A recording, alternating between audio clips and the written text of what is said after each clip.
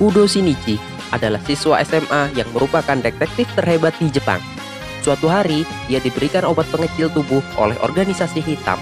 Tubuhnya pun mengecil dan menggunakan nama baru yaitu Edogawa Conan. Conan tinggal bersama detektif Kogoro, membantunya dalam menyelesaikan semua teka-teki.